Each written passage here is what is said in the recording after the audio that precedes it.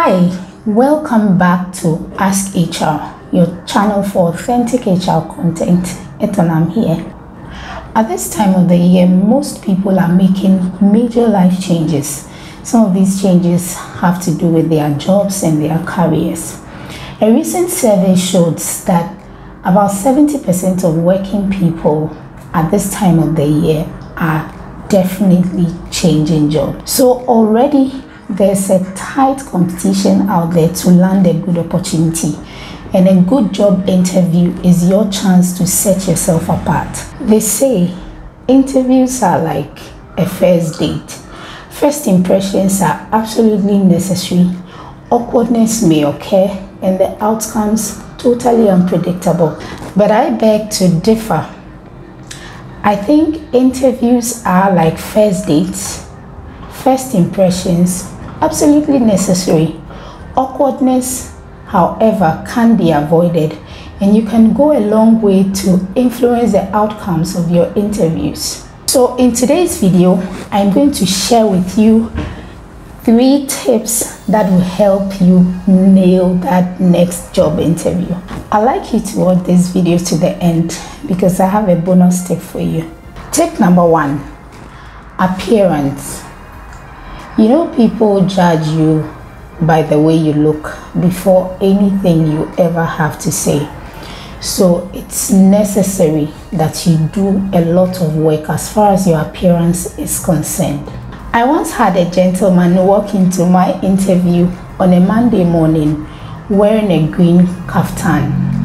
I'm sure you guys probably know what the end of that story is going to be. He didn't get the job, even though he exhibited competencies that showed that he could do the work. But it's a competition. You need to understand that.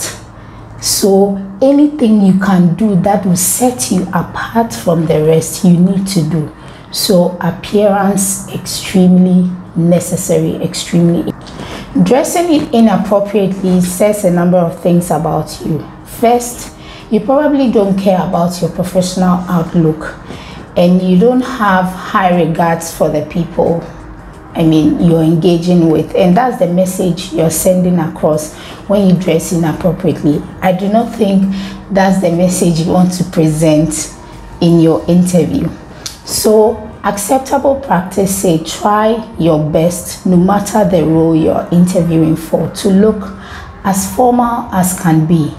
And for a gentleman that would mean a suit, jacket, with a shirt and tie neatly pressed and then shoes that are neat and appropriate.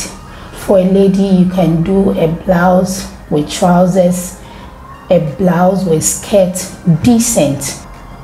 For a lady, you can do a skirt or trousers suit with a dress moderate accessories and moderate makeup with a modest pair of, of heels. Whatever you do as far as your appearance is concerned, make sure to avoid bright and flashy colors. Tip number two, communication. So I would say communicate confidently and articulate your thoughts clearly. Now, most of you understand that communication goes beyond just what you're saying. So your body language is also speaking loudly in your interview. So practice, practice, practice. Eye contact and then also maintaining a very good posture. That tells your interviewers that you are comfortable and you are confidently giving out the information. Even the best of presenters and public speakers prepare, prepare, and prepare. A lot of preparation has to go into the kind of conversation you are going to have in an interview. Now, most of what will be discussed or the conversation will revolve around the job description you were given. So make sure you do a lot of reading around the job description so that you can be speaking the language of your interviewer. Make sure you have researched the organization, who are their stakeholders, what kind of culture prevails in the organization, who are their customers, and who are their com competitors. Competitors. These are very important information you need to arm yourself with so that you can have a relaxed, fruitful conversation with your interviewers. Tip number three I like to call this the interview blank check. Now, this is when your interviewer asks you, Do you have any question for me? Most people have already been stressed by the entire interview process and are already in a hurry to exit the room. So, most people say, Oh, I'm fine. I mean, you addressed everything I would ever want to know about this organization. So, I think I'll pass on this opportunity. Well, if that is your approach or that has been your approach, then you've been shooting yourself in the foot this whole time. Now, when you are asked, Do you have any questions? It's your opportunity to even highlight your skills further, especially those skills that were not um, touched on whilst you were engaging with your interviewer.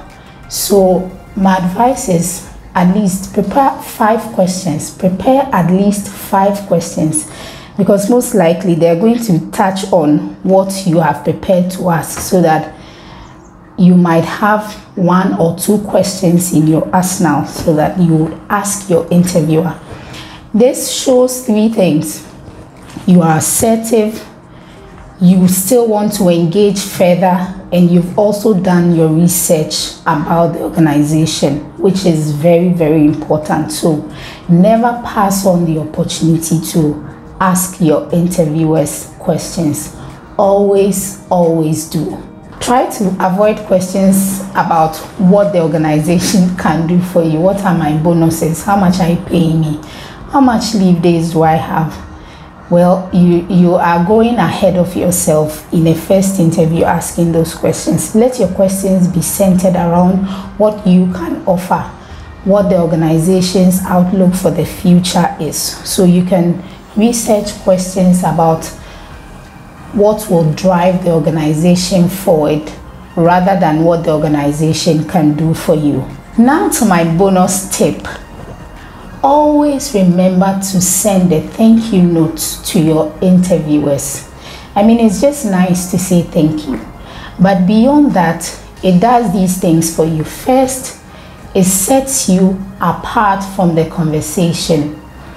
It puts you top of mind of your interviewers and it shows passion and enthusiasm for the role. Now it's also your opportunity to, if it's an email you're sending, for instance, and you felt there's something you wanted to address, you didn't have the opportunity to. A thank you note is your chance to slip it in there and just push yourself further to enter into that vacant slot.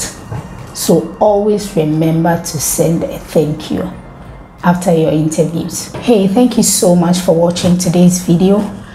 I'd like you to subscribe, like, share, and comment. And don't forget to click on that notification bell to get notified of my next video.